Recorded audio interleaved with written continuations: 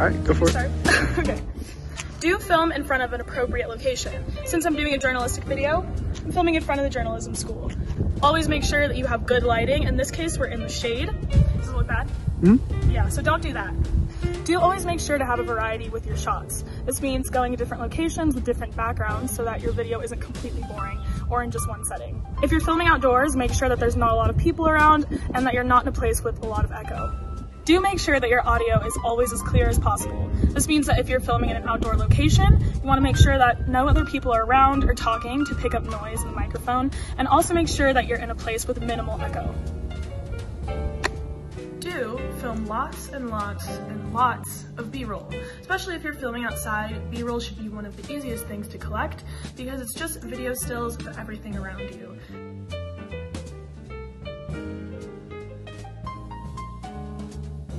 Plus, adding B-roll to your videos can add a little bit more interest, flow, and transition can help break up the video.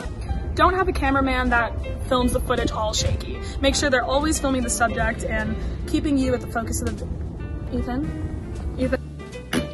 Do always make sure to stay true to yourself whenever you're doing a journalistic project. I think this is the best way to show your integrity as a journalist and still have a little bit of personality in anything that you create. That's why I always decide to include blooper reels in my videos.